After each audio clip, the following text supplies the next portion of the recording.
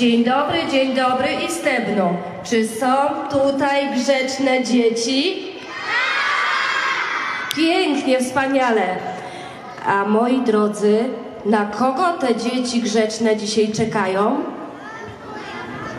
Dzisiaj w Istebnej odbywa się tradycyjnie już po raz trzeci Mikołaj.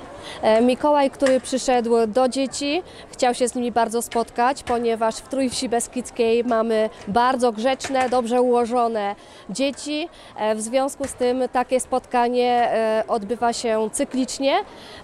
Mikołaj cieszy się bardzo dużą popularnością, jest tutaj wiele rodzin i właśnie o taką formę wspólnego spędzenia czasu nam chodziło, żeby być razem, żeby wspólnie tutaj nie tylko w oczekiwaniu na świętego Mikołaja, na prezenty ten czas spędzić, ale też razem na pieczeniu, na dekorowaniu pierniczków, na robieniu e, pięknych kwiatów z bibuły na regionalne połaźniczki e, i na to wszystko, co tutaj e, dzisiaj proponujemy w formie warsztatów. No i oczywiście będzie także kino plenerowe, ale niestety z racji warunków atmosferycznych będzie ono właśnie tutaj w hali gimnazjum i tutaj dzieci będą oglądały bajki, także bardzo się cieszymy, że właśnie tak wspólnie razem, rodzinnie w tym roku rodziny możemy spędzać czas. do specjalnego gościa. Brawa, brawa dla Mikołaja, życzę miejsce.